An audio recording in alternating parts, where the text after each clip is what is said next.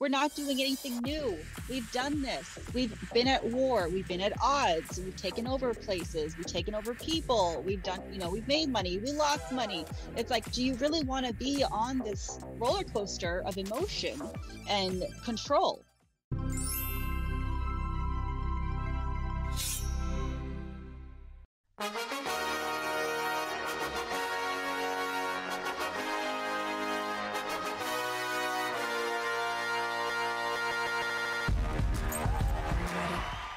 Hey, everybody, like what you see, Luxe Life with Candice Bar, or any of the Luxe Media Studios shows, make sure you subscribe and click the like below. Hey, everybody, welcome to Luxe Life and Believing Before Seeing. I am so excited for today. I've been wanting to get this guest on the show for a little bit now, and we finally got him. So, without further ado, I'd love to introduce Mr. Xavier to Luxe Life and Believing Before Seeing. Welcome. Thank you, Candice. Thanks so much. Great to be here with you. And I'm sure you get this a lot, but can you p- please pronounce the last name for me? Of course. it's pronounced Eikerenkoetter. Thank you. Yeah, not as not as difficult as it looks, right? No. Eikerenkoetter. Okay. Hmm. So we uh, we reached out to you because I read this book that you had put together and I have not read a book like this in such a long, long time, and I could mm. not put it down. I thought it was fascinating. I love the way it was put together. It's called Reverend Ike, and everyone needs to get this book. It's a fantastic book about your father, who is this amazing powerhouse of a person. And after I read the book, I started watching his um, teachings on YouTube. Yeah. And I'm just, I'm such a fan. And I'd love to hear from you about the book. What made you even want to put that together? Um, everything about that. Oh, well, thank you. I, I really appreciate that. Well, this is the book, Reverend Ike, An Extraordinary Life of Influence. And mm-hmm. um, it is about my dad, as you said. And my father was uh, an evangelist, right? But what was very unique about him is that he's an evangelist who taught metaphysics.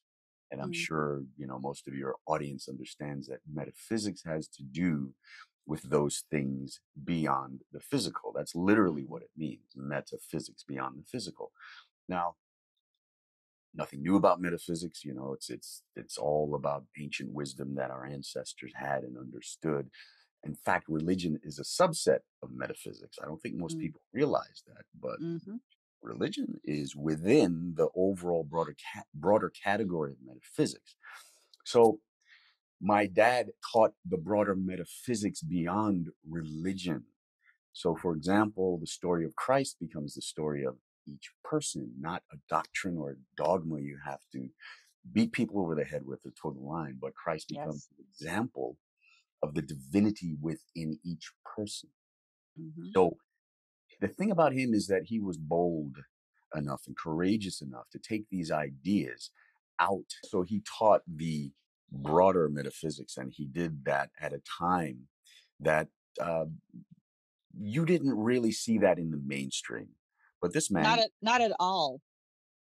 Right. Yes. But, you know, he was on all the big talk shows at the time, Mike Douglas, you know, back in the day, and uh, you know, even Oprah a little later back in the '90s, and and um, he inspired people with the idea, and this was the major central focus of his message about mm. the God within.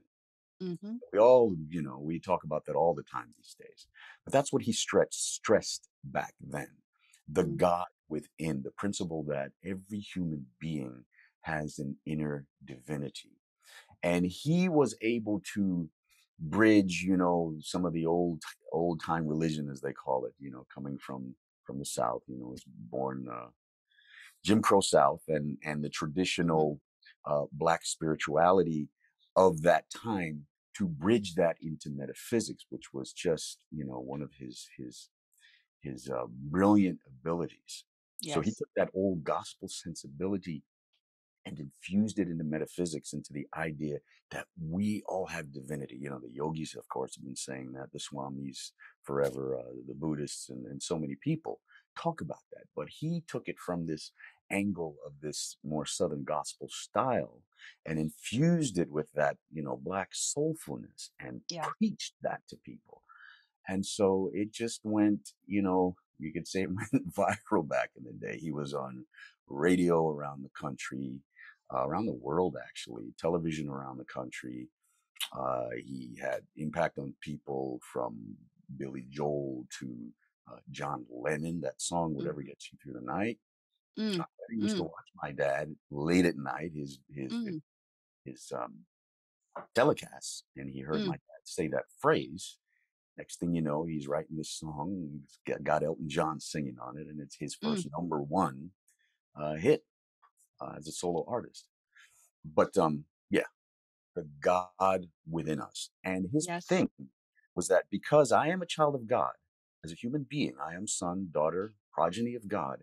I deserve all of the goodness that God has, and God is, a, of course, a loving source. He would say a loving Father Absolutely. who wants us to have all of the good that we can imagine and beyond. Absolutely. And I fully believe that. I actually wrote a book as well recently, it's, and it's called Believing Before Seeing.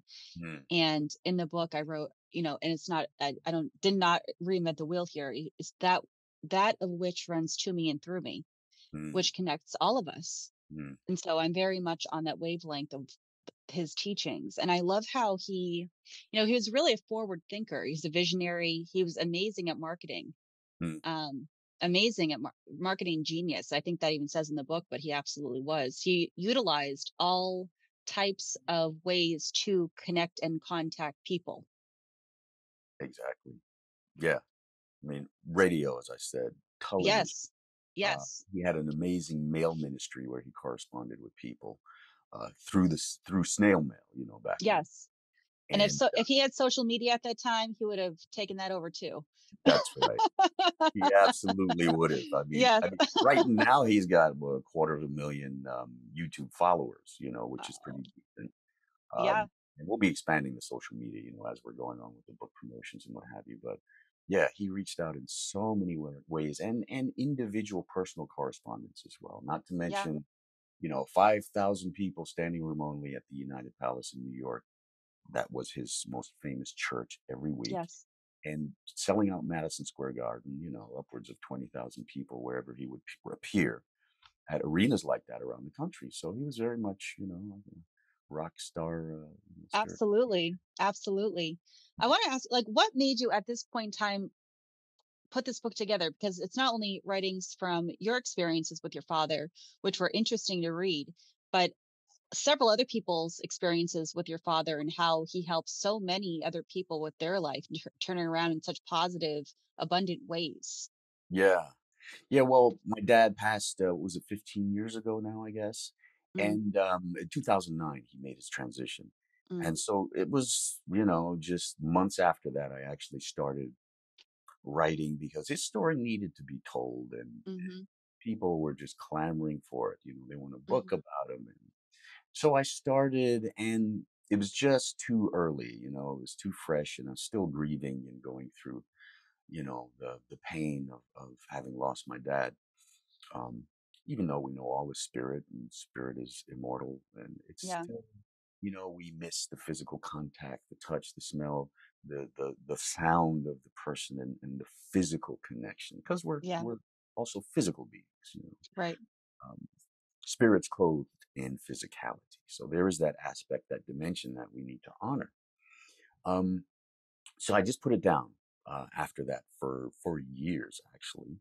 Uh, picked it up again, started writing some more, and and it it was really a process. You know, I would Mm, pick it up, start working on it. It's like, oh, okay, that's as much as I can do. I would set it down for a long time, and then I mm, started getting collaborators to work with me and went through a couple different teams and we made good progress and it was very kind of cathartic and mm, starting to tell the, the story and i just came to an impasse with it mm.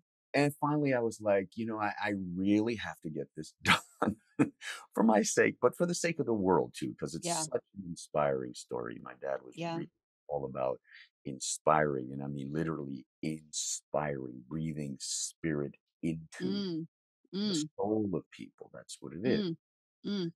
um, so I have to continue that legacy of inspiration. I wanted to do it through writing um, the book. So I said, you know, Mark Victor Hansen was mentored by my dad, loved my dad. They had a great relationship. And I'm like, duh. He's in the Guinness Book of World Records for, you know, I think most number one books um, Wow. At the same time on the bestseller list. I'm like, Wow. Mark, will you help me finish this book, please? He's so like, he yes. came on. Yeah, yeah. So he came on board and we revamped the whole thing, went through, you know, from soup to nuts, redid it, rewrote a lot of things, Yeah. lots of new content. And then you get to hear from his perspective, which I think is very interesting because then it's not just about me talking about my dad telling Yeah. the story. You get Mark talking. And then, as you said, you get other people also sharing their story with Reverend Ike, how they were impacted, how they were Mm. inspired. And so for me, the whole thing just comes together like what I I call it like a personal success, prosperity, self improvement manual kind of thing. Because Yeah. when you, when you go through it, you see how he was able to accomplish what he did. Right, little black boy growing in the gym, growing up in the Jim Crow South, hmm came through poverty, was able to mount the racist times where black people were st- men were still getting lynched, right? Yeah. And still had these horrible segregation laws. Grew up through all of that, surmounted that, um, surmounted financial lack and limitation. How did he do that? Yeah. When you read the book, you discover that, and you'll be able to apply it in your own life to take you from where you are to where you want to go. Absolutely. Mm. And you know, it's, everyone always, we, human race has always needed inspiration, motivation, education, but especially I would say nowadays, I, I believe after our 2020 experience, people tend to feel they may have lost their own personal power and it, they may feel a little lost here. Mm. And it's a great reminder saying you, you have the power. You've always had the power. And if this person who seemingly had all these things, you know, quote unquote against him at that particular time, if he did all these amazing, extraordinary things, you can too. Exactly.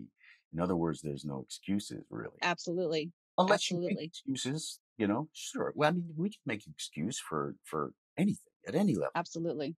But as you said, we have the power. And so part of the key, that some of the great keys to my dad's success, that that first principle, God is in right? Mhm. Let's take a moment to understand what does that mean? What is God? What is source? It's the creating, the creative and animating force and source of the universe and all that is. Mm. That is not a throwaway phrase or idea. God is in me, in you, in everybody listening, every human being right now. We could not exist if it weren't for this amazing power and force animating us right Yes. now.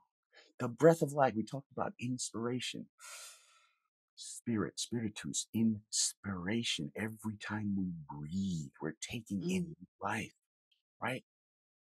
It poetically says in the scripture, God breathed the breath of life into the human being, and the human being became a living soul. Now, I don't care who wrote that, what book that came Mhm. out of, That is beautiful truth. Absolutely. we we're taking in new life and new spirit. So God is in me at this moment. And the scientists will break that down for you and tell you what that means, how the oxygen, how the energy, and all of that stuff, you know, keeps us alive. And that's all true. Yeah. But the fact is, the animating force is within us. And that, 1 million percent. Well, Yeah. also too, you know, when someone passes away, I believe it was people lose about eight pounds right when they pass away. What Mm, is what is that? What mm, can you explain that it is the soul leaving the body? mm. Yeah, I've heard that. That is very interesting. I mean, Yes. you think of what we're, when you think of what we're formed of, you know, as human beings, as spirits within a physical body, obviously we're more than the physicality. You know, you can think of, of it in terms of auric field, etheric field, that one way of conceptualizing is that we are these concentric circles of ever more subtle bodies radiating out I don't know, maybe 50 feet beyond us. Mm. But even beyond that, of course, we're connected to all consciousness. So there's no limit to who we are and what we are. It's just that Yes. we're focused right now into this particular etheric, auric, mental, emotional, psychic, then physical body, which is the last part of us to incarnate Mm. and the last part to leave. you know, Mm, consciousness, mhm. as you said, leaves first. Research shows actually that I think it's the third ventricle of the brain that consciousness leaves through when we pass, Mm. which is the same thing that happens when we're in deep meditation. We Mm. escape through that uh, ventricle of the brain. Consciousness leaves the body. So, you know, we're packed with so, so much energy and force from the source that, you know, it's quantifiable now, right? Yes. What do you what would you like to see happen with this book? What what are the plans moving forward? We're now in February. Hmm. What would you what are we to see from this? Yeah, well, you know, as you said, the the major thing is to get people refocused on this idea of the God within. Yeah. And so this idea that God is within us, this animating force, it's a powerful thing. Mhm. And because we have those powers within, we have a huge responsibility. It's time for us to own those powers. That's one of the second key. You see my dad in his life story. He owns that power and it Mhm. expresses through certain things like his imagination. That that is one of the great God powers we're given as human beings. He harnesses that and uses it to advance himself and to advance many people as he's uh, accomplishing what he wants to do in the world. So I want to take this, we want to take this message out and just engage people around this. Yeah, we'll be speaking. Uh, we've got a book club that's happening right now, actually, um, Mm. with Napoleon Hill Institute. If you go Mhm. to revikelegacy.com, uh, also Napoleon Hill Institute, you can you can find out how to join that book club. We're just engaging around the message that you know, as human divine beings, we have powers that we need to own, to grab a hold of, and then deploy in the world. If we want to mm. really thrive, if we really want to become all that we're meant to be and continue to create and recreate the world the way we know it can be, Yeah.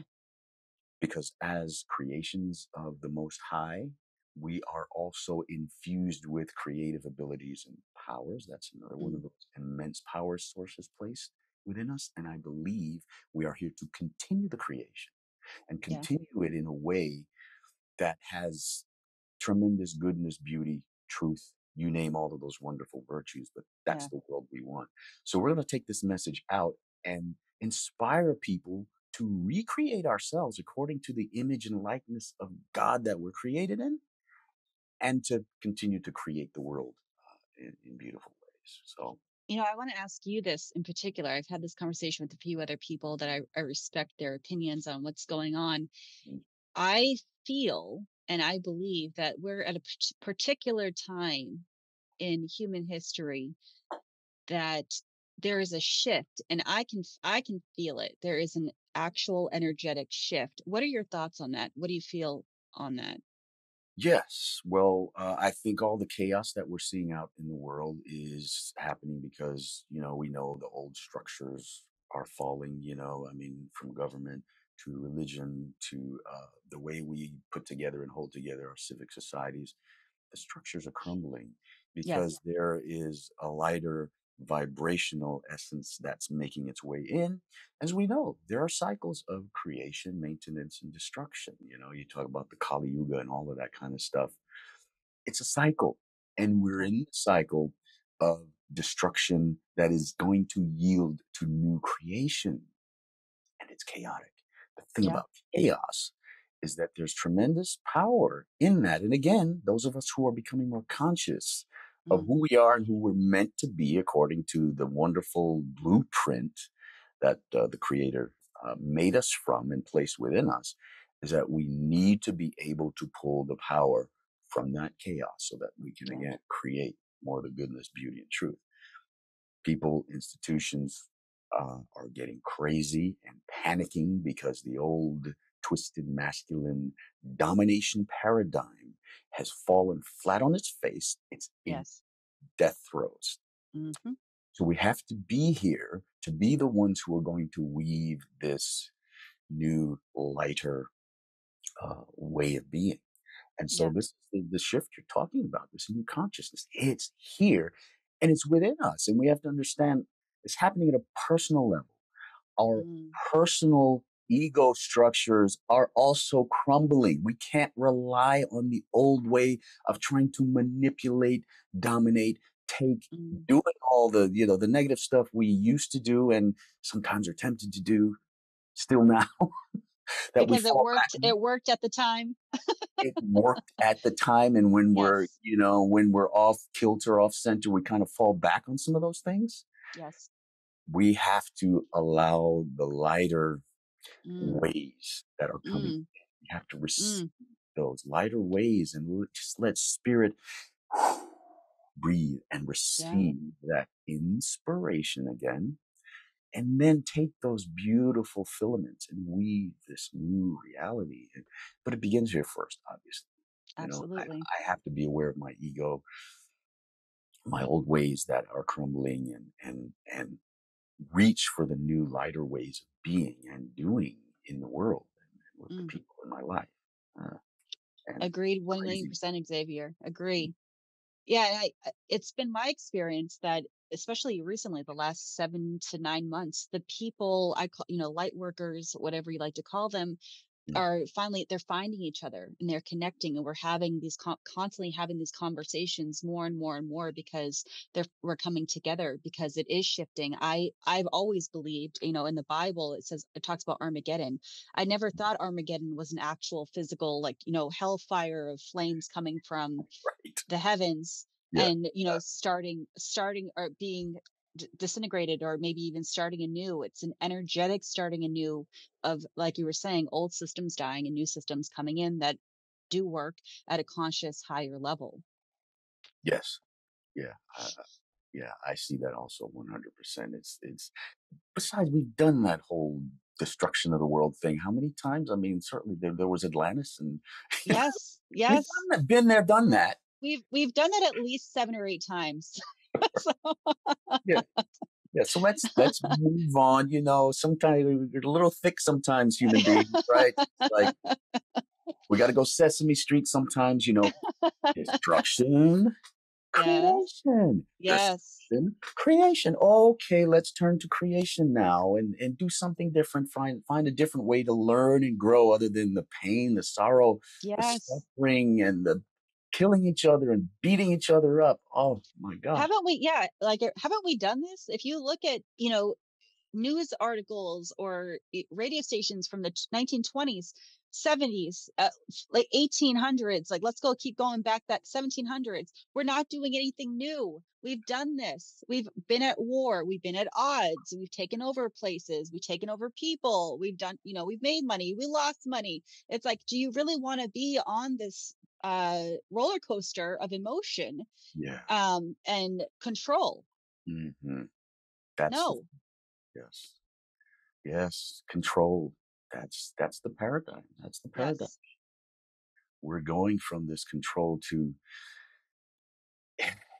because I think and, and I'll speak for myself, there's a more vulnerable way of being that for me sometimes I can feel myself, you know, ah, when it, it's mm, it feels so vulnerable to simply be in the world and to begin to receive reality mm, instead of trying to control it, dominate it, mm, make things happen. mm. Because when I control, dominate, it's like, I, I got this. You know, this is mine by rights because I struggled. I worked my ass off for it. so it's mine. yeah But the path of getting there, right? Uh, The, the, the path of getting there is a way of, of of being there. When you get something that way, you tend to to abide in it that way, and you can't release the grip. you know, the death hold grip you've got on something by achieving it that way. You can Yeah. achieve and create that way, but it's not the ultimate fulfilling way to do it. But I've been working with this this image I got in deep meditation of I'm sitting on the ground and it's raining and it's we've had so much rain here in Northern California. Yeah. but I'm just sitting naked on the ground, hands up.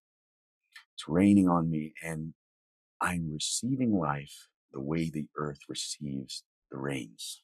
Mm, There's no effort involved. mm, It's assisted by the forces of nature. Gravity is simply assisting the rain down. The earth receives it. And I can learn how to receive my reality, my life that way, because it's all already given.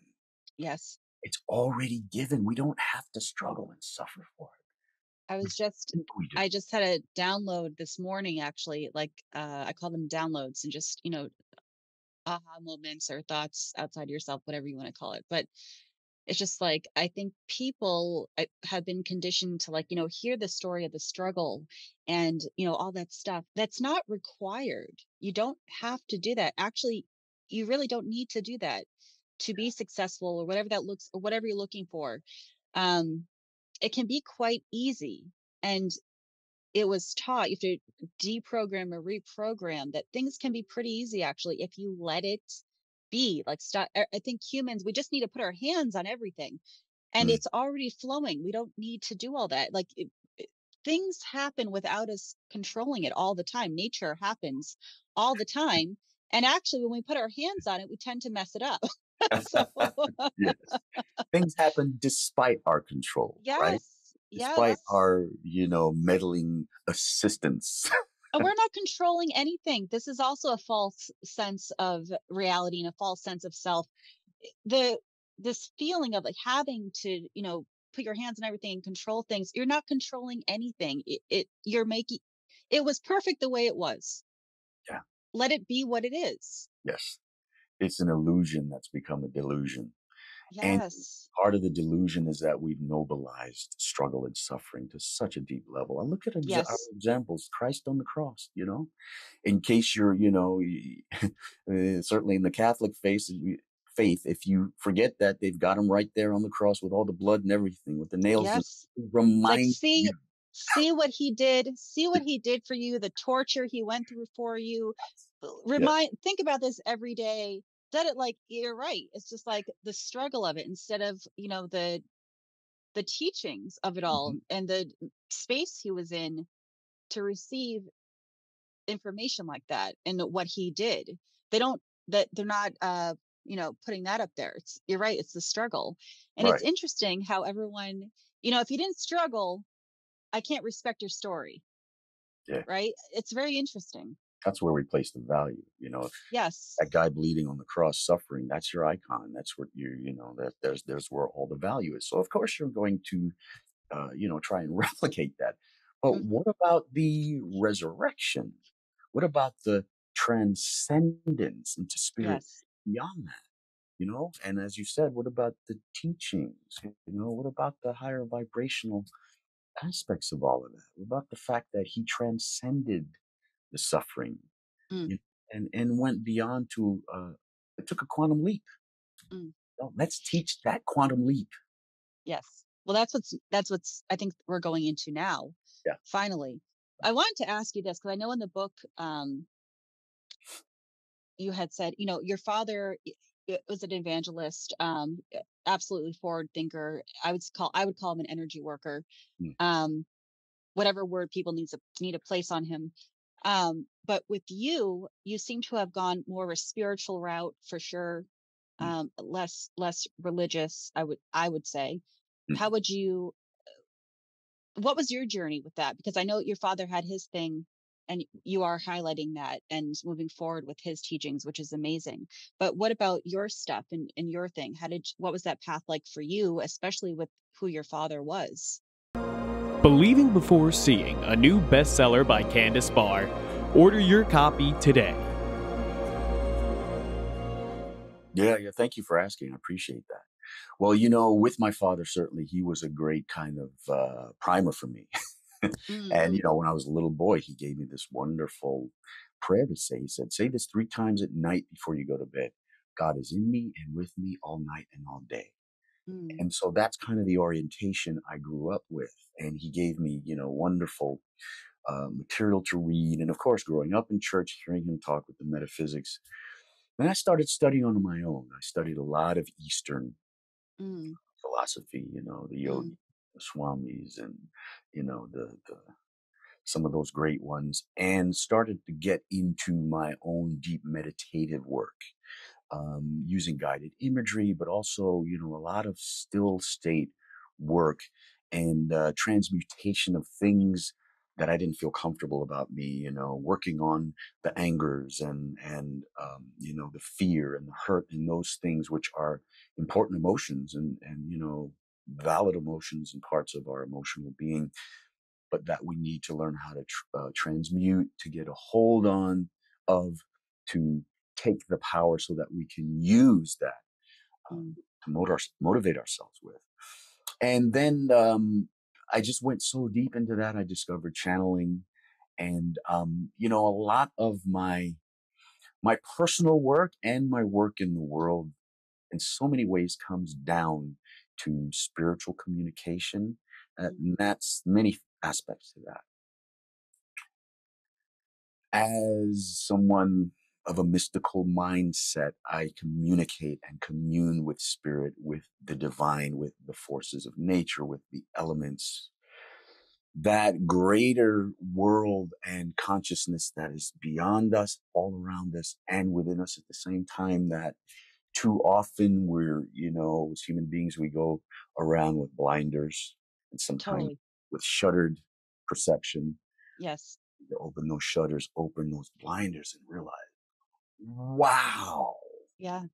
So for me, deep meditation and immersion in spiritual ideas and communion and connection with spiritual consciousness, you know, Mm. Mm. beings who are not physical, angels, my own higher self, soul, guardian angels, you, you know, however you, you term those things. Having these unseen friends as part of, of my uh, my conscious family Mm. Has been very important. Um, so that's really been been my route. Also for me, I have more of a, a personal shamanic bent in the way that I approach spirit. Um, I love uh, drumming and toning. I work a lot with sound, a lot with my voice as a chanter, also a singer. Um, I compose, I drum, um, work a lot with vibrational uh, energy. So I, you know, I've been studying and using that for for um, for many decades. So part of for me, uh, part of it for me also has been uh, the musical connection. You know, to me, Mm. music is one of the languages of my soul, and within that specifically, rhythm is an important part of it. And so, Mm.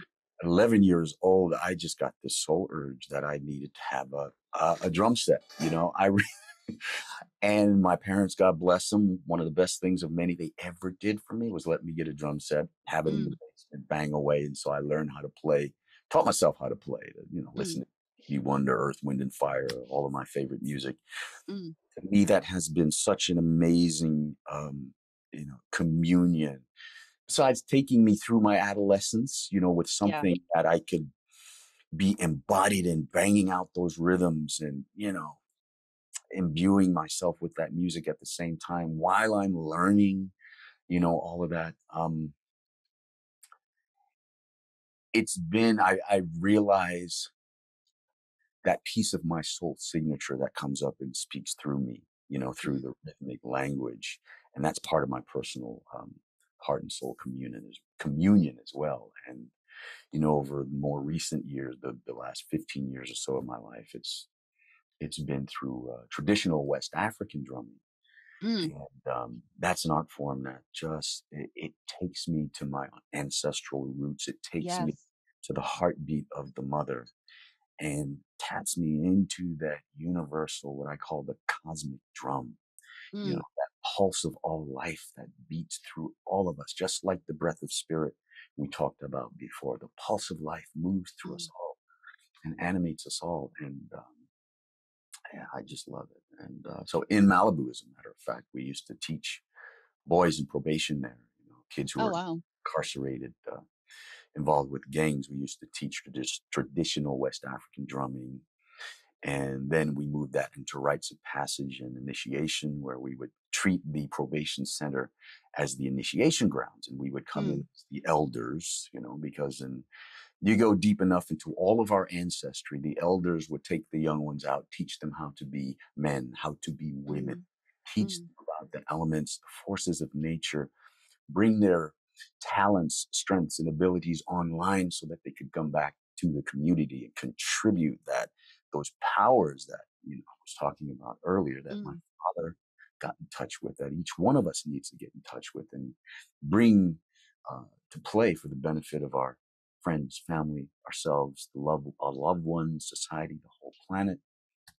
Um, so we work with boys. We teach them how to meditate, do life skills, uh, you know, all while we're forming these West African drum ensembles and uh, just great, wonderful work. So that's part of me Mm, taking my soul connection, music, mm, drumming, owning that for myself, you know, going on this, this, this template that I've, you know, laid forth from working with this book and then deploying that in the world for the benefit of these boys. And, and that kind of ripples out. And the organization, thank goodness, is still going. My friend took, beautiful. took it over when I left and uh, Beautiful. still happening. You know, I want to ask you this. Um, do you think or do you believe that we choose our parents before we come into this body? hmm Absolutely. Okay.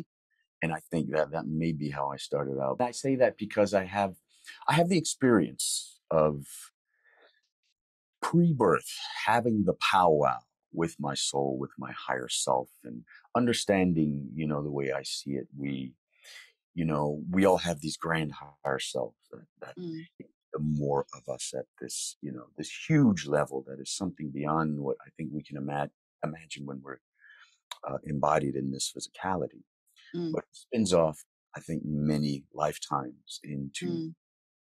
the earth plane into physicality and not just on planet earth there are other you know planetary systems i believe we incarnate in as well but it is the higher self is kind of like that mothership and Yeah. it's uh, these different pods of exploration that go to these different places Mm. so before we come down for particular um, um, exploration of a lifetime you know, we plan certain things, you know, we Yeah. select the destiny, we set up situations. It's like, well, what would I want? What do I want to learn? What do I want to experience?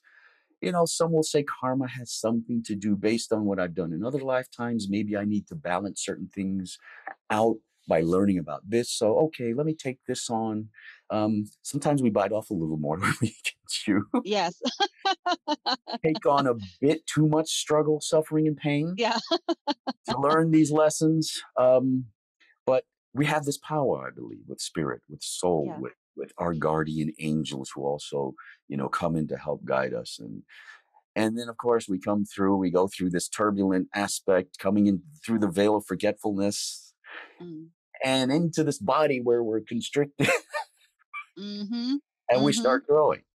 And you know, we grow physically, emotionally, mentally, psychically, etherically, more hopefully of who we were comes online uh, as we remember who we were. But yeah, we pick our parents. We, Yeah. uh, we kind of look and we choose the conditions of our birth that we think are going to give us the most advantageous growth. And I mhm. know so to some people they're like, "Come on, there's no They're like, I would. They're I like, I would never pick these." these parents. Yeah, no way. But look, I think there's a larger part of us, you know, that we're not necessarily aware of now, Yeah. unless we've connected with it, that has reasons for those choices at a deep soul level. I just think we don't know it until we know ourselves at that soul level.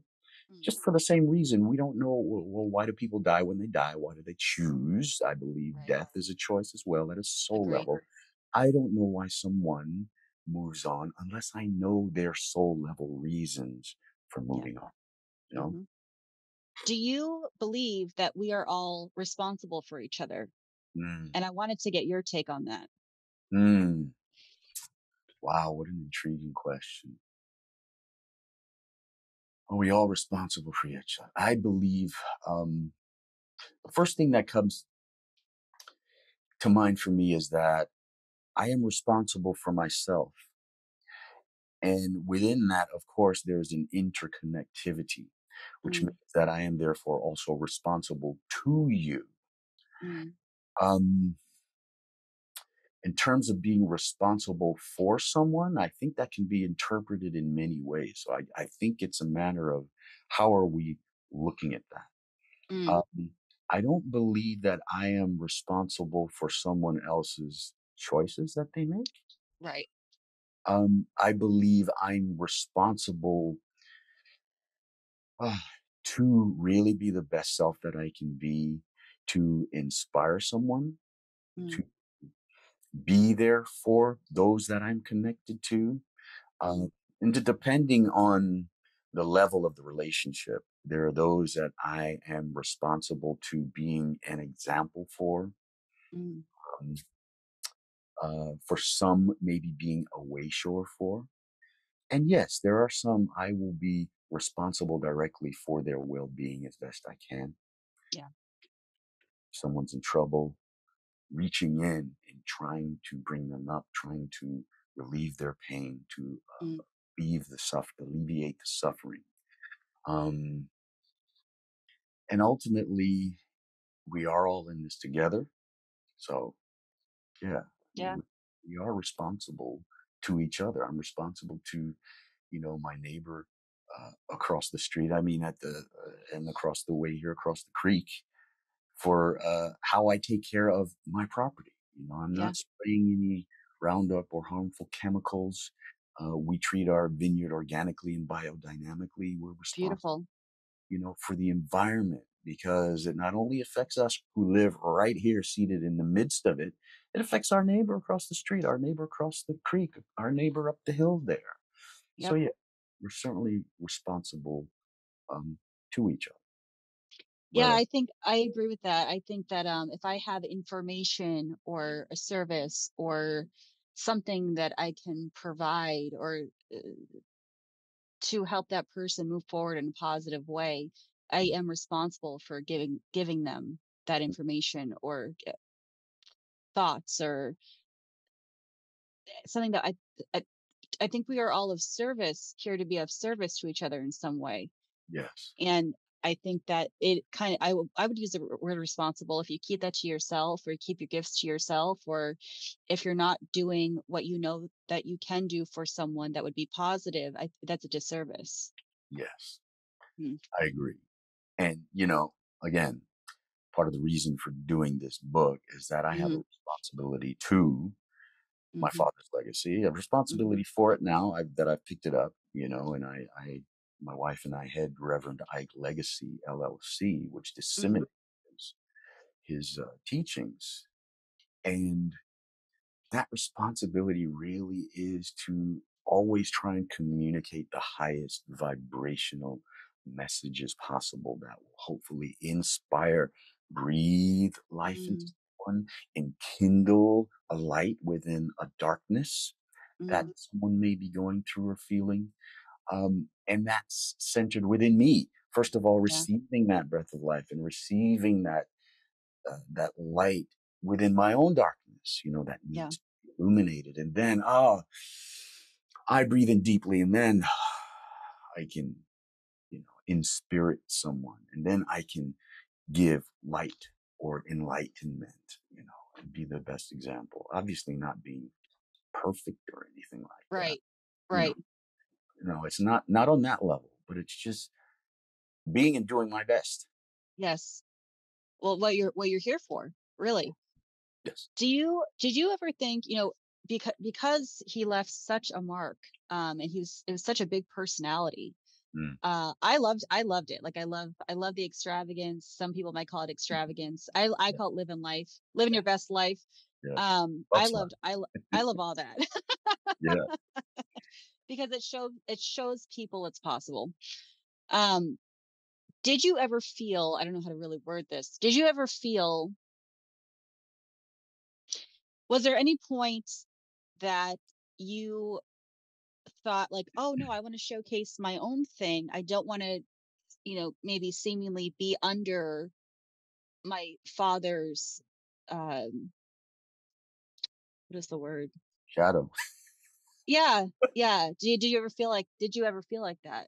every day. I'm still dealing with that issue. You know, here I am promoting his book and, you know, and, and it's like, oh, there's, I have so many wonderful projects stacked up that you know, my own uh, platform is called Xavier Soul Streams, and that's where I present my own music, my own inspirational message, and I, I have guided meditations mm. on there, and all kinds of you know interesting stuff of, of spiritual. I did see that actually. You know, yeah. and so that's taken a back seat lately because you know we've been been promoting this. I, yes. I thought, you know, naively, first time book writer, even though I've written a lot of other stuff. This is my first book I've mm. Mm. I thought getting the book, book written, putting it, putting it out was 90% of the work. But not at all. uh, the promotion, the marketing. Yes. I had no idea. You know, my co-writer yeah. Mark, of course, has been through this rodeo many times, but I yeah, yeah. So yeah, I'm still here. We go. All right, Dad's overshadowing in the spotlight. but hey, I chose that, right? It's it's before birth. I'm like, hmm, this is an interesting. This is going to set me up for some great lessons. Yes, have to do with my being able to shine my light still mm. within this what has felt like a grander overlighting thing over me my entire life. Mm, right? Mm, mm. So it's been about me finding really, I would say, first of all, what my own light is. Mm. And I've, you know, I've done that some of the ways that I've shared with you now in, in other private ways. And, you know, and I do explain some in the book, some of the psychological challenges of coming yes. under a bigger than life, life father. Yes. Being in that shadow, a lot of times that means, you know, my own light wasn't allowed, you know, to completely spread the way it should have been. Mm. But, um, and, you know, he and I, we clashed and I, you know, from his egocentric point of view, and my, yeah, my dad was a great man and everything, but he had a big ego mm-hmm. and it was mm-hmm. tough, you know, mm-hmm. fighting against that ego. Mm. Him, I was born to take over his whole thing and which I did. and, you know, morphed it, changed it, did my own thing within it, and with yes. it now have transformed it to a again a lighter, you know, mechanism and way of being. You know, we, we talked about that, the, the yeah. transforming the old into a lighter way, uh, so that we can carry things into the future. Um, but yeah, I'm still dealing with that, right? Mm, mm. From writing the book, um, until now, now promoting it, marketing it, all this stuff outside of the book, what have you noticed that has changed within yourself mm. From the beginning of that?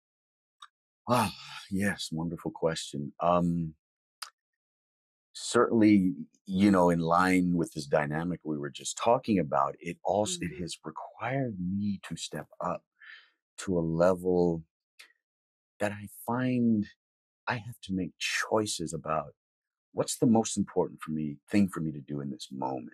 Mm. There are so many great opportunities.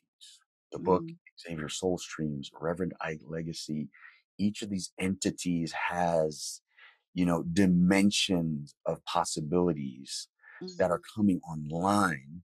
And sometimes it feels utterly overwhelming, right? Yeah. Confession here, keeping it real. Yeah. And I've had to deal with the sense of overwhelm Mm. Mm. And so I'm just working at how I manage that. Yeah.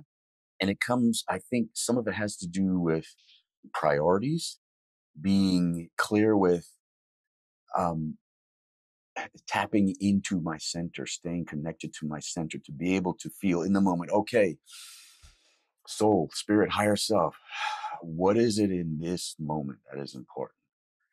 an offer came in from Candice Bar to do a thing. Oh yeah, that's that sounds absolutely wonderful. We talk about the book. She's you know does some wonderful podcasts with some great guests. Yeah, let's lock that in. That's important. Mm-hmm. So here I am. Mm-hmm. It's really, it's that. It's like one foot in front of the other in some ways. Yeah. Back to those basics. Yeah. Um, and at the same time, what feels like managing some big projects and knowing when to take me time yeah. and tell That's a, that's a big deal. Yeah, isn't it? Yeah. Tell Yeah. everybody, okay, I got to take off now. I've just got to do me for a bit. I'll get back to you. Can't handle it right now. Mm-hmm. So it's really just a matter of kind of self management, Yes. self care, Yes. basics, and staying in touch with my center. Because when I get off Mhm. center, that's when it's cray cray. Yeah. And that's when Yes. it's like, okay, what is this Tasmanian devil crap? I, I, that's not me. Yes. Let's bring it down. Yeah. Bring it back to basics. Let's bring it back to basics. hmm Often Mhm. for me, it's breathing. Let me go outside, put my Mhm. feet in the earth, Mhm. breathe, feel the sun on the top of my bald head. Thank you. Take that. Yeah. Yeah. Refocus with the elements and the forces of nature. Oh, drop down into the earth. Feel that connection to the core. Okay, we're back. Thank you for feeding me again. Mm. I know who I am. Mm-hmm. Where do we go from here? Mm-hmm. mm-hmm. Great answer. I love that. Mm-hmm. I'm gonna have you on again because I could talk to you for hours. Oh, Um, same here. Thank you. thank you. Wonderful. Please let everyone know where they can find the book, find you, connect with you, everything. How can they find you? Absolutely. So the book is on Amazon right now, of course. You can also find Yes. it at revikelegacy.com. There's also a website that is revikebook.com. Um, you can find um, me at xaviersoulstreams.com as well. You see my writings, my music, inspirational messages, guided meditations. Beautiful. Well, thank you for taking the time, Xavier. Um, everyone, please do check him out. Find him on social media. Get the book. It's an excellent read. Excellent read. Again, thank you again. And thank you, everyone, for listening and watching. And we will see you all again next week. Bye, everybody.